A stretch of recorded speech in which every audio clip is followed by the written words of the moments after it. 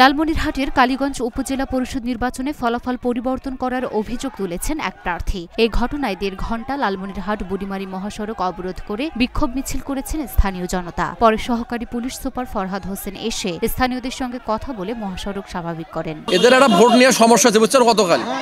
এই এরা, এই যারা পরাজিত প্রার্থী, ভাইস চেয়ারম্যান, উনি এখানে ক্ষোভ প্রকাশ করতে রাস্তায় আসছিল। উনি একটু মানববন্ধন করে উনি চাকরি চলে গেছে। আমাদের আইন শৃঙ্খলা নিয়ন্ত্রণে আছে পরিস্থিতি স্বাভাবিক আমাদের। বুধবার বিকেলে লালমনিরহাটের কালীগঞ্জ উপজেলার চৌধুরী হাটের চৌধুরী মোড় এলাকায় এই বিক্ষোভ মিছিল করা হয়। আমার কথা হচ্ছে যে আমরা আমরা প্রথম প্রথম নয়টা পর্যন্ত বা প্রথম প্রথম অংশে আমরা খবরে দেখলাম আমরা হচ্ছে যে সত্তর ফুটে জিতি আমরা সত্তর ফুটে জেতার পর ছবি এবং ভিডিও ফুটে সব আমাদের আছে আমরা জেতার পর কীভাবে রাত বারোটা বা দুইটার পর আমাদের ফলাফলটা চেঞ্জ হয়? আমরা ফলাফল চেঞ্জ অদৃশ্য হাতটা দেখতে চাই। এই অদৃশ্য শক্তির এত ক্ষমতা এত ক্ষমতা যে আমাদের এই নির্বাচিত একটা আমাদের ভোটটা বাতিল করে যারা। রাত দশটা প্রথম অংশে যে আমরা ডিক্লেয়ারটা পেয়েছিলাম সেই ডিক্লেয়ারে আমাদের টিউবওয়েল সত্তর ভোটে বিজয়ী। অতএব রাত দুইটা বাজে আবার ডিক্লেয়ার দিল যে টিউবওয়েল আটত্রিশ ভোটে বিজয়ী মানে হেরে গেছে টিউবওয়েল। প্রথমে একটা ডিক্লেয়ার পরে একটা ডিক্লেয়ার।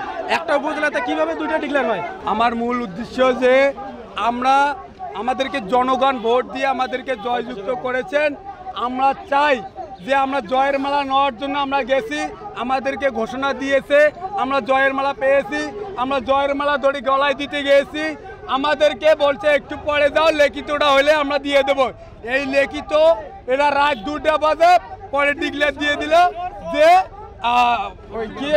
বাবলু বাবলু ফ্যান মার্কা বাল বৈদ্যুতিক বাল মার্কাকে উনি উইন করে দিল আটত্রিশ ভোটে এর আগে দুপুরে কালীগঞ্জ প্রেস ক্লাবে সংবাদ সম্মেলনে অভিযোগ তুলেন টিউবওয়েল প্রতীকের ভাইস চেয়ারম্যান প্রার্থী আবির হোসেন চৌধুরী। তিনি লিখিত বক্তব্যে বলেন, কালীগঞ্জ উপজেলা পরিষদ নির্বাচনে ভাইস চেয়ারম্যান পদে টিউবওয়েল প্রতীকে প্রতিদ্বন্দ্বিতা করেন ইউনিয়ন ছাত্রলীগের সাবেক সম্পাদক আবির হোসেন চৌধুরী। মঙ্গলবার রাতে ভোট গণনা শেষে সহকারী রিটার্নিং কর্মকর্তার কন্ট্রোল রুমে আনুষ্ঠানিকভাবে ফলাফল ঘোষণা করা হয়। আমি আসলে ষষ্ঠ উপজেলা পরিষদ নির্বাচনে ভাইস চেয়ারম্যান পদপ্রার্থী ছিলাম এবং আমি দীর্ঘ আমার রাজনৈতিক জীবনে আমি ভোটমারি ইউনিয়নের জনগণের সঙ্গে অনেকদিন মিশেছিলাম।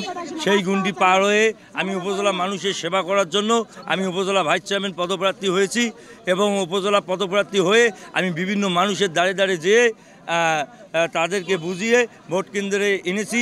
আমার পক্ষে তারা আমাকে ভোট দিয়ে আমাকে নির্বাচিত করেছে এবং নির্বাচিত করে রিটার্নিং সহকারী রিটার্নিং কর্মকর্তা আমাকে সর্বপ্রথম বিজয়ী ঘোষণা করেছেন এবং পরবর্তীতে ওনাদের ভেতরে কি ছিল বা কী ব্যাপার স্যাপার আমি জানি না। আমার রেজাল্টটা আটকিয়ে দিয়ে রাত দুটার দিকে জেলা প্রশাসক এবং আপনার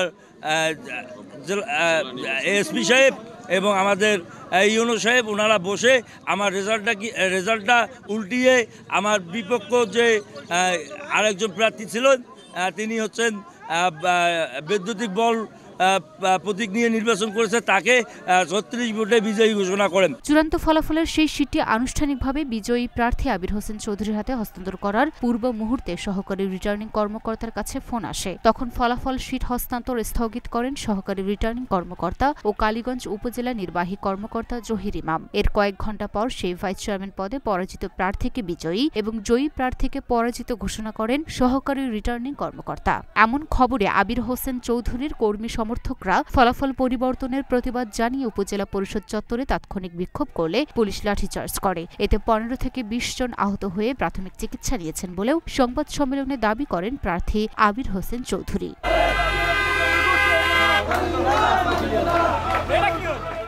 লুনা ফ্রোসনিপা ঢাকা পোস্ট।